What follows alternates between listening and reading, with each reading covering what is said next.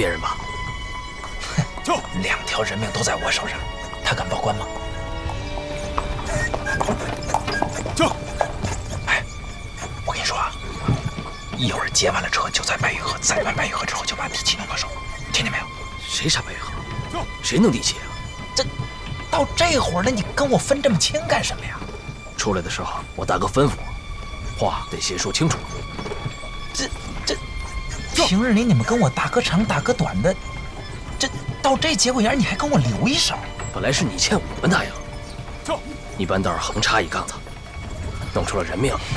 后来我们都听你的，可这回这事儿实在整的动静太大，就算地契弄到手，不容易脱身了。就，行了行了行了行了，都是好兄弟，我什么时候亏待过你们呀？这么着，我只要看到白玉和死。地契归你们，行吗？好不好？那行吧，快去快去快去！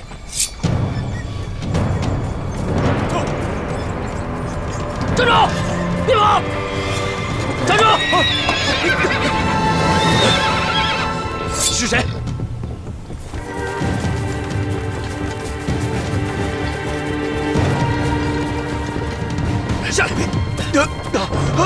白玉河呢？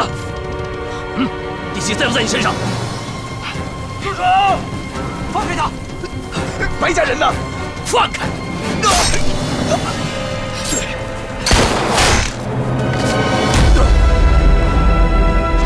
走一走！快快走，走一走！给我搜！刘先生，刘先生，别急，我们去诊室。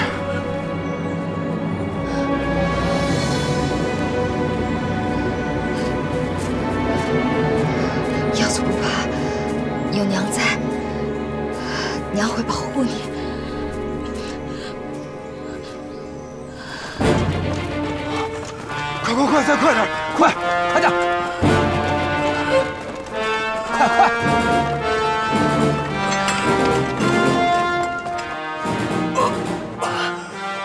刘先生，为什么会是您呢？我们一夜守在白家门口，明明看到上车的是白雨禾呀。是啊回堂兄。怎么回事啊？雨禾去哪儿了？周少爷，你们这东一句西一句的，让我怎么给他上药啊？这事关重大，唯一知道人质下落的歹徒死了，我只能问他。哎，回堂兄，你告诉我这到底怎么回事？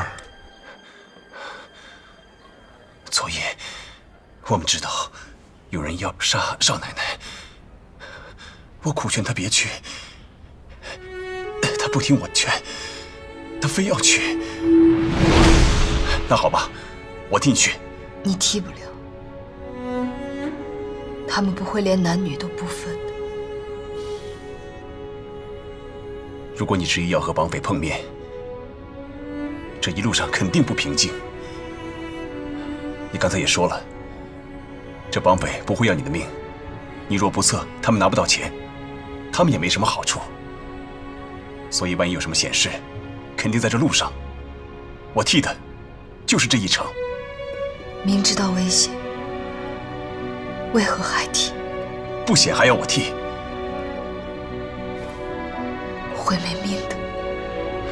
这生死有命，我交给老天做主。这没了我的命，也就一条命；但没了你的命，这可是没了好几条人命啊！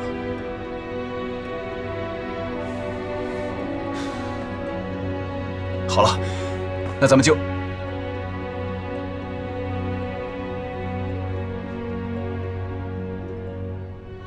就这么说定了。你们胆子也太大了，随便这么商量几下，你就去替他。你你为什么不去报官啊？他不愿意，他不愿意你就听他的，他让你去死你也去死啊！他现在人在哪里？队长，他不说，我真不知道他在哪儿。惠堂兄，惠堂，惠堂，惠堂，伤成这样？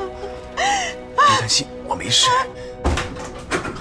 白雨禾，你还活着？我兄弟呢？我是来赎我兄弟的，大哥。你怎么背孩子来了？你报官了是不是？你不要打他！你不要打他！你走开！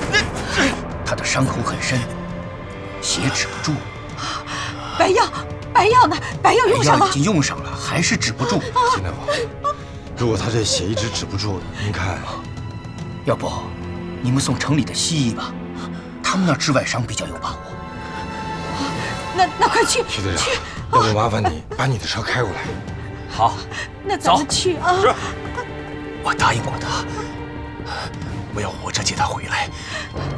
见不到他，我哪儿都不去，不去。回他，不去。第七呢？没有。可我把我儿子带来了。我要的是地契，我要你儿子有什么用？地契在我弟弟手里，他正在往家赶。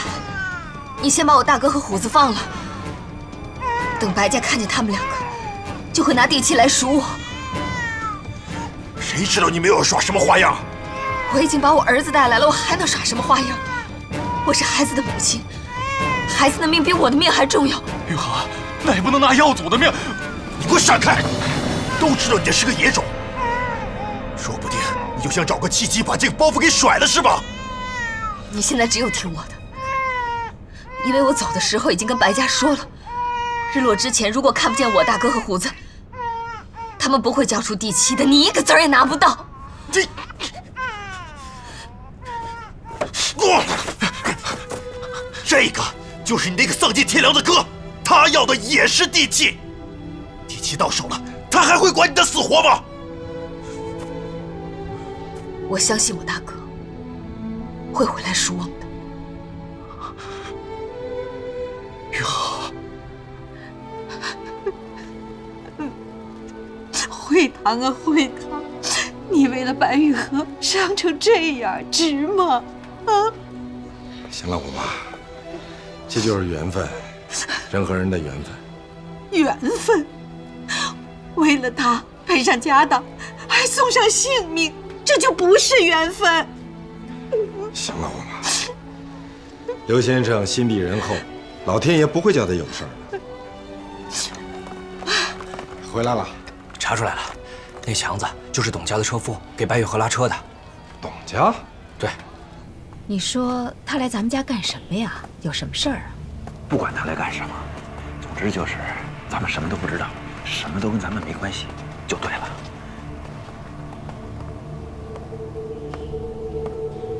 我先回去了。郑公公，见了警察就躲，做了什么亏心事儿？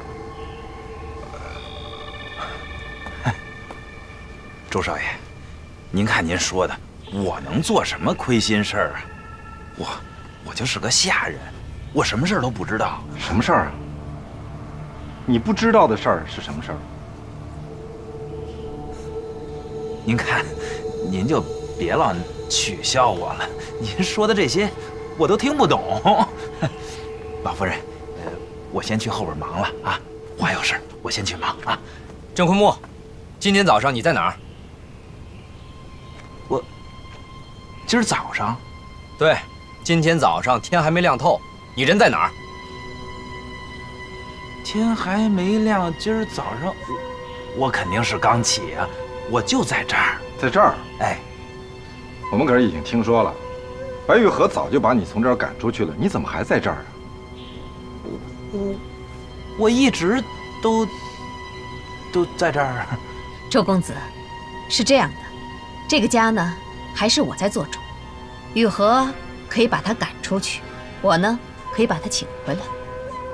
我跟您说实话吧，少奶奶把我轰走之后啊，我是真的没地方去。我姐她可怜我，这又重新把我叫回来。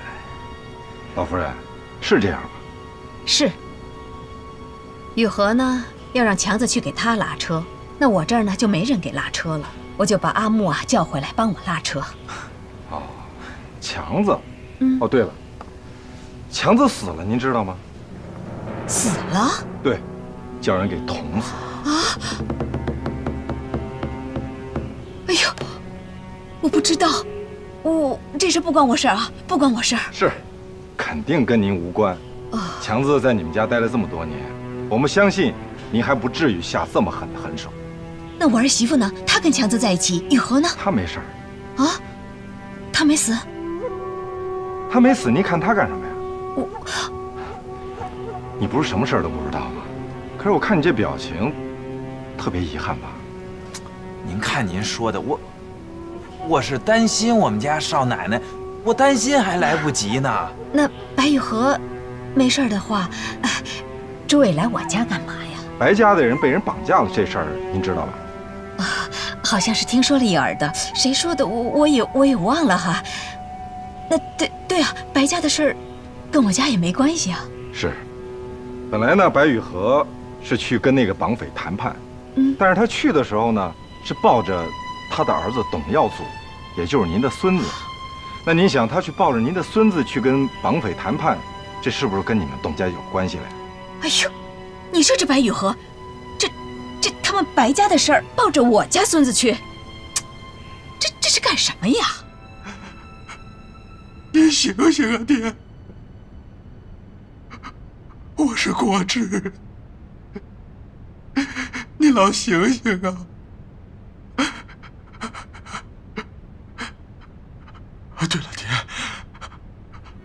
我把虎子找回来了，已经找回来了，爹，你老醒醒啊！凤玲，你把孩子抱给爹看一看吧。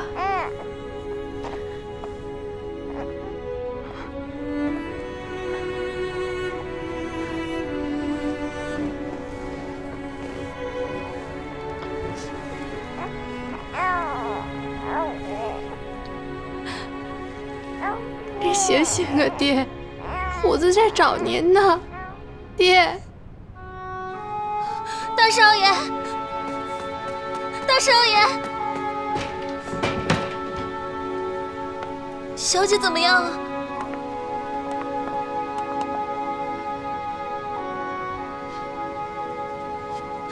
那耀祖少爷呢？他执意要带他儿子留下。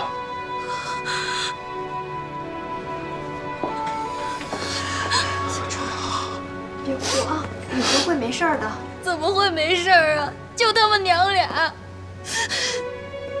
抬头三尺有神明，如今我算是知道了，雨禾的心有多慈悲，老天爷都看在眼里呢，一定会保佑他们母子的。好了好了，别哭了啊！等老三回来吧。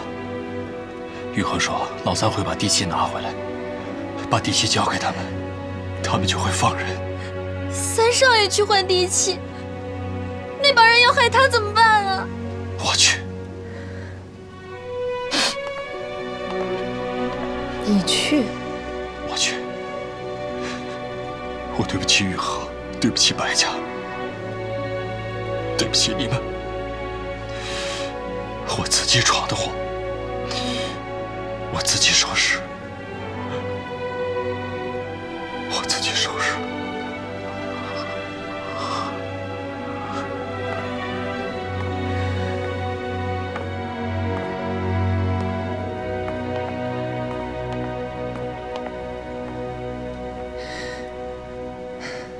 郑坤木，我再问你最后一遍，今天早上你到底在哪儿？您看，我都跟您说了这么多遍了，我。我在家呀，我还能在哪儿？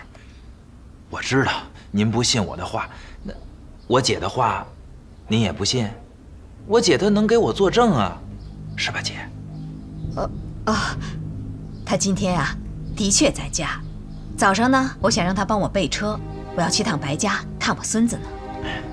这件事情，我想请你再慎重的考虑一下，这可是人命关天的大事儿，而且还是您孙子的一条小命。他们母子两个人现在还在坏人手里。如果现在我们知道他们在哪儿，至少还能找回一线生机。那就别等了，赶紧去找啊！就别在我们这儿耽误事儿了。所以来问你知不知道？您看，我都说了，这事儿我不知道，我跟那帮人又不认识。你，郑昆木，你不用再狡辩了。我亲眼看见过你跟那帮人在酒楼里。周少爷，那么大的酒楼，人来人往的，谁跟谁碰上都有可能啊。那也不说明我们就认识啊。我知道，您看不起我，您对我有成见，那，那也不能什么坏事都往我身上赖呀。我对你不是成见。是定见，你卑鄙无耻，坏事做绝。有的人看不出来，却还被你屡次利用。这件事情会查个水落石出的，到时候人命官司，你必须得背。不光你，那个包庇你的人，到时候也一定得以共犯论处。徐队长，我们走。慢着，您还有什么话要说吗？正好你们都在，我要报案。什么事儿啊？您请说吧。我怀疑我家有内贼，因为我丢了一副耳环。走。干嘛呀？这是？快点！你们抓我干嘛呀？快走！放手！放开我！干什么你们？队长。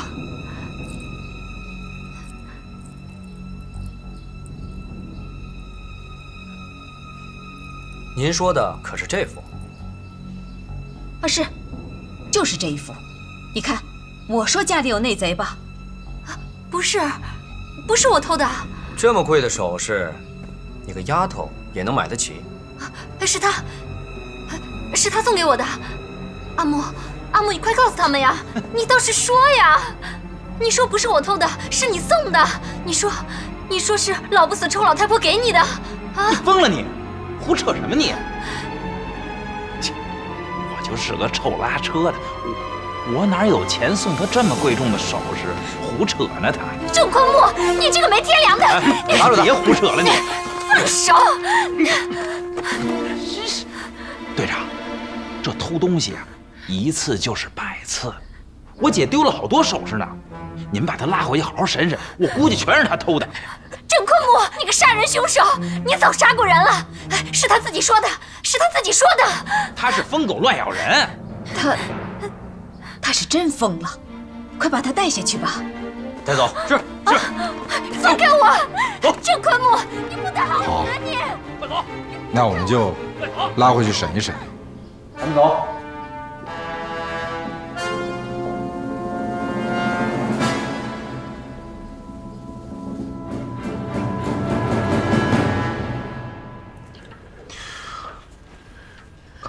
他们下手，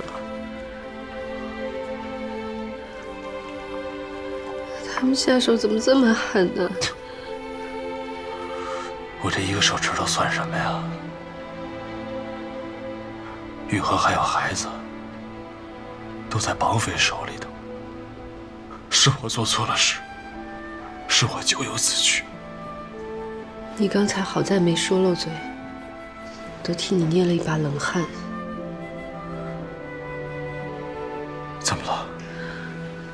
雨禾跟他们说，你是为了虎子去跟他们谈判，才被他们掠过去的。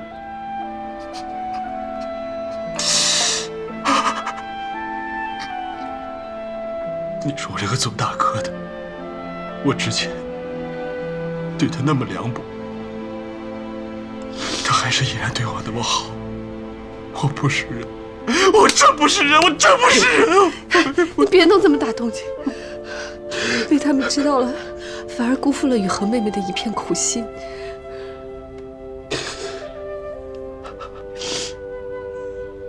依云，我错了那么多，对不起雨禾，对不起白家，对不起很多人的事情，我这次。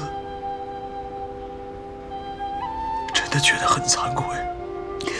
我真的没有想到，他会把他的亲儿子送上去。这当娘的心都是要碎了。反正我已经想好了，不管绑匪对我怎么样，即便他们杀了我，我也要把玉和救回来，把他的孩子救回来。我要对得起玉和，我要对得起少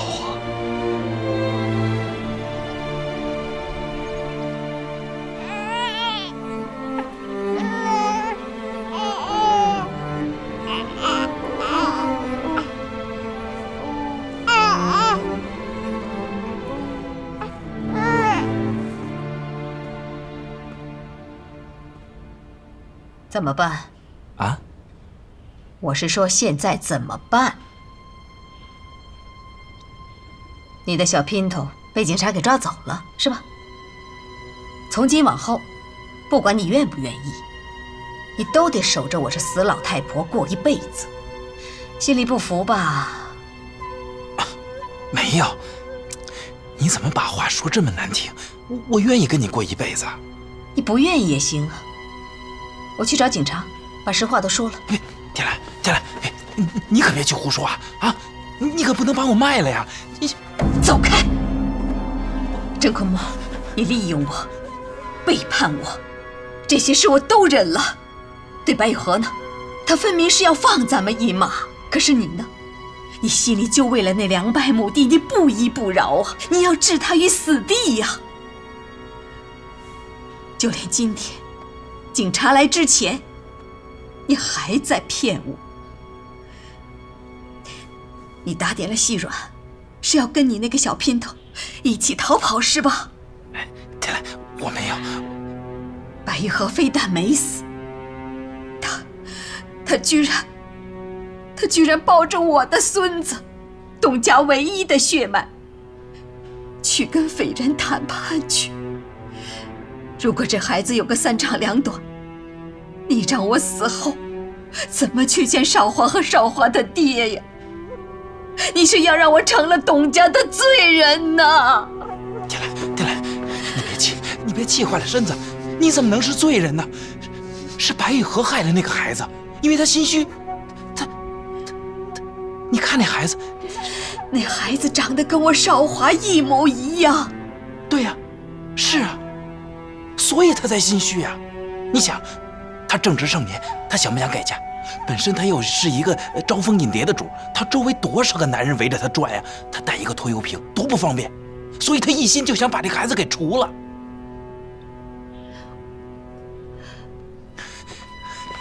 天来呀，他不像你，他他本来就是一个阴险毒辣的人，哪有那么狠的娘？抱着自己的孩子去跟匪人见面，把孩子给寄出去。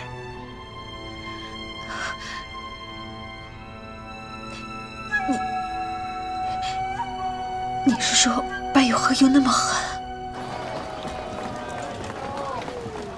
我真的什么都不知道啊！老寡妇把首饰给了他，他就转给了我，还说，还说，还说什么呀？你快说！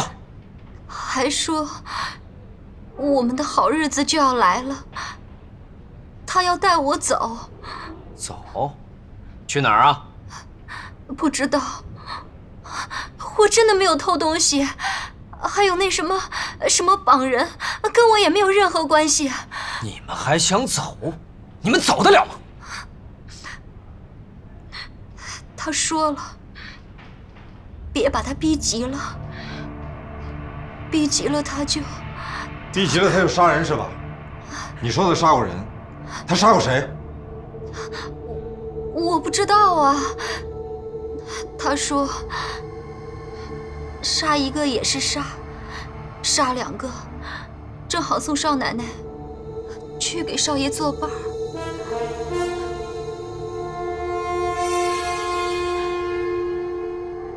董家拉车的强子，你认识吗？强子，强子在董家干了多年。我从翠竹楼出来进董家，他就在了。翠竹楼？我在翠竹楼的时候，就跟阿木相好了。是他把我赎出来，带进董家。府里的老人都被他赶走了，只留下强子拉扯。你不要再装可怜！我告诉你。你最好把你知道的全说出来。如果你再藏着掖着，只能把你和阿木定罪为同伙。我说我说，可是真的不关我的事儿啊！他做的那些事儿从来不告诉我，只是那天强子来找我，让我带话给阿木。你去找阿木，赶紧让他来到老地方见我。有什么话自己找他说去。他现在被赶出董家，我去哪儿找他？别以为你们俩的事儿外人不知道。他每天晚上跑回府里跟你私会的事儿，你这话可不能乱讲。想要封住我的嘴，就赶紧让他来见我，要不然我就报官，把他那些丑事儿全都给抖出来，然后告诉警察他想害死少奶奶，霸占那二百亩田地。还有，他去翠竹楼把你赎出来的大洋是怎么来的？他发财了就把我赎了？哦，不对，我是他老家的亲戚。你别蒙我。我第一眼看到你就认出你来了。如果不是干那些杀人越货的勾当，岂能把你赎出来？这这些我不知道啊，不关我的事儿啊。实话告诉你，周老爷子死肯定跟他有关联。周家少奶奶也找到我问话了，这可是人命官司。如果官府真查起来，你也脱不了干系。记住，一定要让他来见我。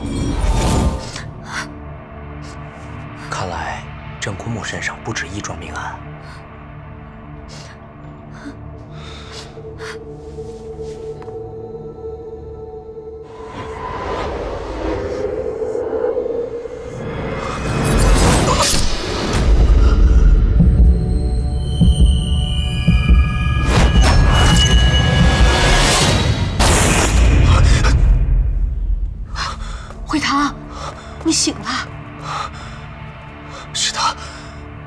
谁呀？五妈，赶紧扶我起来，我得去见一个人。哎呦，你哪里都不准去，你还负着伤呢。你帮我把衣服拿过来，我得赶紧去见他。快！哎呦，你，你看你呀，小心点啊！来，穿上。啊，五妈，哎，走吧，咱们快走。周管家，您放心吧，我们肯定尽力调查。我家老爷死的不明不白，原来都是歹人所害呀！感谢队长出力，为我家老爷昭雪伸冤，谢谢了。我们在翠竹楼检查的时候，刚好找到周老爷的那块金表，还在老鸨的房间里。只是我们在去董家抓人的时候，让他给跑了。妈，都是媳妇儿不好。媳妇儿，对不起爹。这事跟你无关，爹不会怪你的。爹，你放心，儿子一定会让郑坤木血债血偿。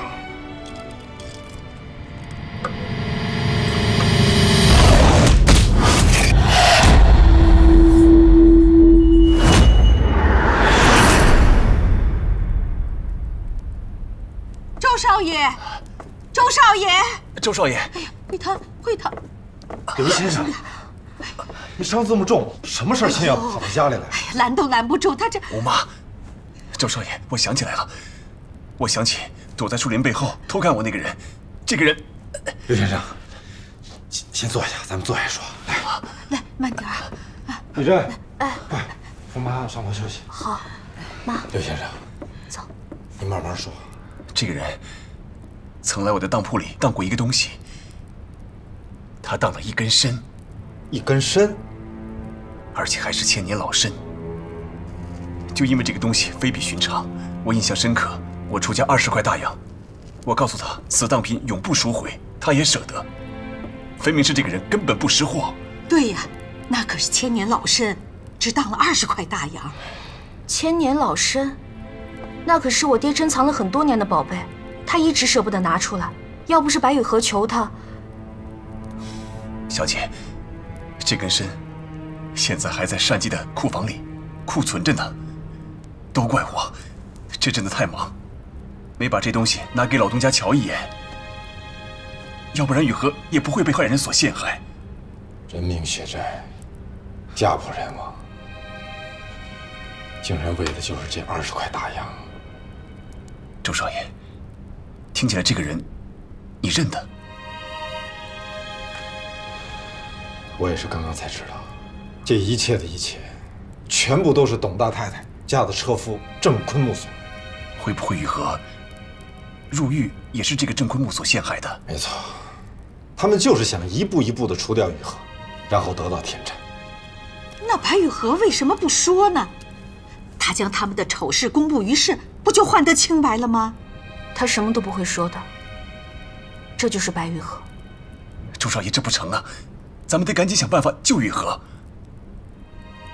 现在唯一知道他下落的人，我想就只有董家老太太了。郑坤木太狡猾，他不会让我们找到他的。而这个董大太太，她也绝舍不得去告发他。用他儿子。儿子。对。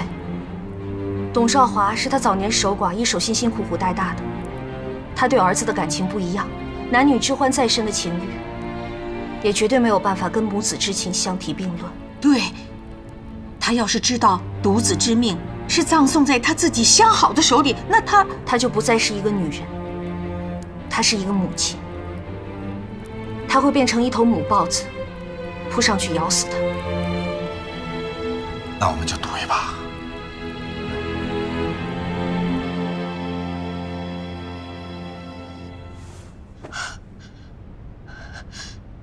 是你杀了周老爷，天蓝，你怎么这也相信呀？周永嘉已经把那帮警察都收买了，他想借他们的手把我除掉。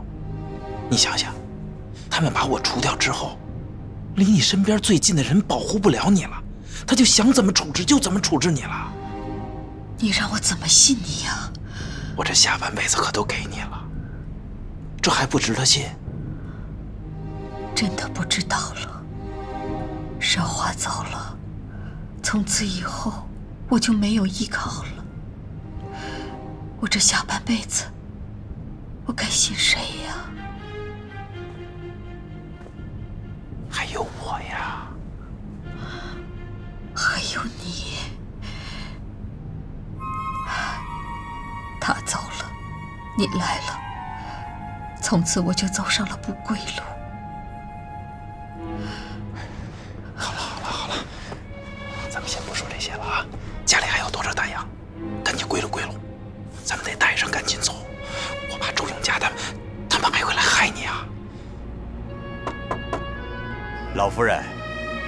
外边有人找您呢。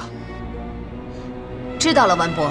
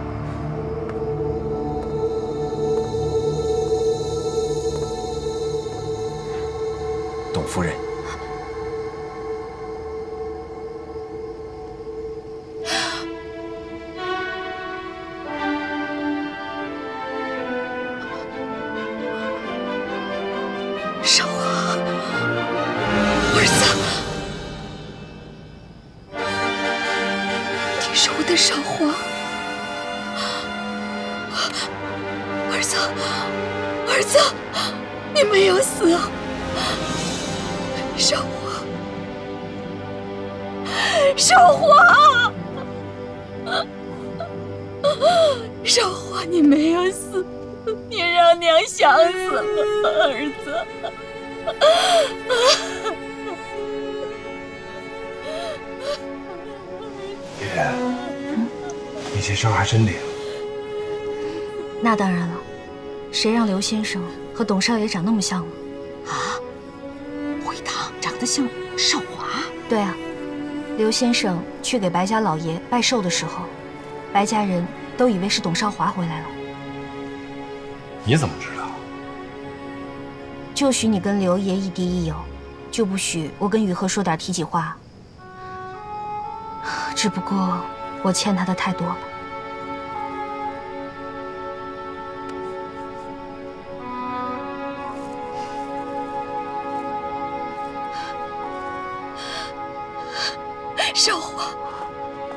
娘好想你。董夫人，我不是董少华。你是少华，儿子回来就好，回来就好。董夫人，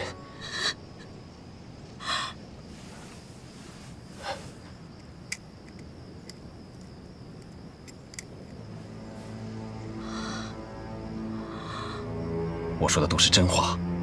我叫刘惠堂，我不是董少华。不，我只是与董少爷相貌相像，请您原谅。深夜打扰，本不该。不，不，不可能。也许是少华派你来看我的，对吗？倘若真是如此，那也是我刘惠堂与董少爷前世结下的缘分。董夫人，看在你儿子的份上，还有至今在匪徒手中生死不明的孙子，还有您的儿媳妇，你能告诉我郑坤木他现在人在何处吗？他他今日我唐突前来，不为董家的宅门恩怨，我只盼能解救白雨禾孤儿寡母的性命。他也是您的至亲之人呢。是。董夫人。我相信董少爷在天之灵，此时此刻他也牵挂着他们。可是，可是阿木与绑架案无无关啊！郑坤木与绑架案有关系，我相信董少爷的死也与阿木有关系。不会，不可能，不会。董夫人，别人的话你可以不相信。但我的话你必须信。我是善记当铺的总经理。就在几个月前，郑坤木拿着遗物到善记当铺典当。郑坤木当的是千年老参。什么？董夫人，我知道你没法接受。我再说一次，就在几个月前。郑坤木拿着遗物到善记当铺典当，他当的就是千年老参。不要，不要！你们骗我！我真的没骗你，我说的句句都是实话。啊，不可能！他当的就是千年老参。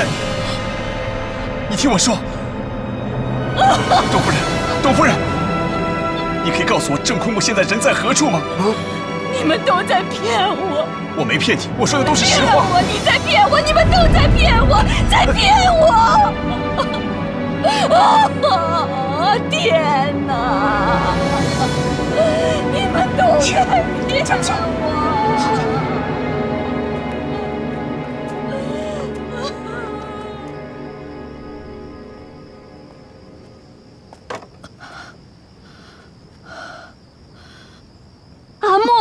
求到身了吗？求到身了吗？求到，太好了，太好了！公公，大夫，赶紧去监上。不是谁都可以碰的啊！说是宫里传下来的老规矩，得是八字五行俱全的纯阳之男才能碰。这这这哪儿找这样的八字？哪儿找纯阳之男去啊？是啊，来来，我就是，我就是五行纯阳之男。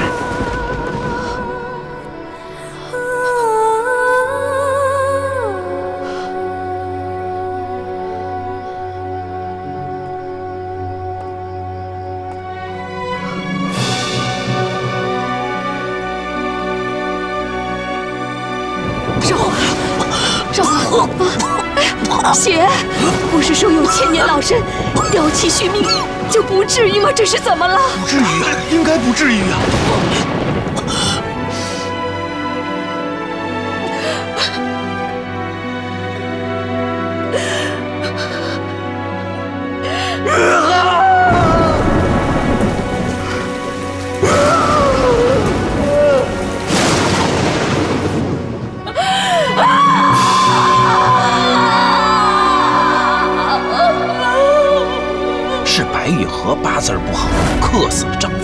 水性杨花，败坏家风，歃血为誓。我要不帮你出了这口怨气，我不得好死。